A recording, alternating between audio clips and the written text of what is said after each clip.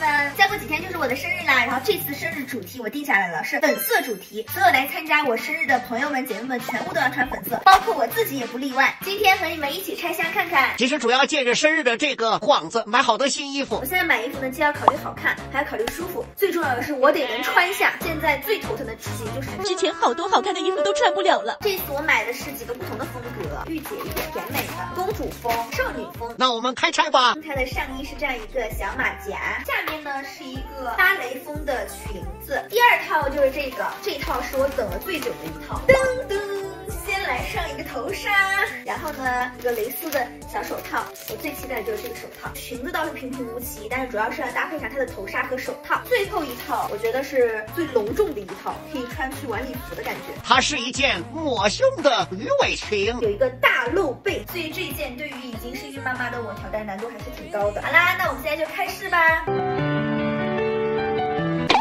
话，这次我真的是被骗到了，因为它穿上身真的很不舒服。裙子还挺好看的，但是上衣的这个版型对于我来说还是稍微有点显胖的。也是因为我最近真的胖了原因啊。但是现在我穿粉色真的是比之前好很多了。正好有姐妹问我，去印尼玩了一整圈，然后去韩国也玩了好久，还去泰国玩了。这一个夏天基本上都在晒，但为什么还是这么白？我之前记得在大号上跟你们讲过，你们看一下，就是一直在用这个 Olay 的这个三抗身体乳。之前它刚出的时候，还给我们的同事啊，然后还有我的闺蜜们去试了，她们大概试了是有两周左右，都跟我反馈就是白了、亮了、没色差了。我给你们找一下，当时出去玩哦，晒的像这种黑印子嘛，就是，然后用了一段时间给你们看，真的不是我一个人说牛。他们家之前这个老版你们还记得吗？本身就挺好用的了，这个是新升级的，跟老版的包装不一样，不仅可以晒后美白，而且是从皮肤的底层去帮你黑色素，相当于直接把你变黑呀、变粗糙、变黄的路全部都堵死了，而且还更新了新的配方，就可以抗糖、抗氧、抗光老。其实现在很多的面霜都还停留在抗糖、抗氧这两步，但是呢，它作为身体乳直接可以抗光老了。我当时看他们这些成分和美白思路的时候，真的是想，Olay 他们家真的舍得，这不就是相当于在我们身上用美白精华和抗光老面霜一样吗？而且它的新版也还是持证上岗的，质地呢跟老版对比也更清爽了。我刚涂的给你们看一下，一下就吸收了。这样的话，你们晚上睡觉的时候也不用担心会粘被窝呀什么的。然后我感觉它的滋润度也是不差的，像在空调房啊待一整天也是那种水水润润的。这个味道也好喜欢，如果你们喜欢那种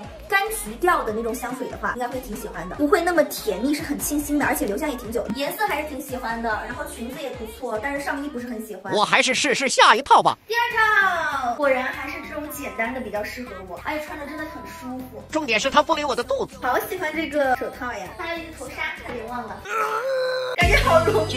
这一套我觉得跟大家在一起拍照肯定特别好看，坐在中间，对不对？现在看你的肚子真的有妈妈的感觉了。是吧？好啦，现在我去试最后一套啦。最后一套，我真的都不想出镜。我跟你们说，我最近真的是胖了好多啊，我的腰已经没有了，后面是完全拉不下了。这个买的还是他们家的最大码。穿不了呀，姐妹们。我们现在是不在前两套当中选一套了，接下来就是大家让我看一看吧。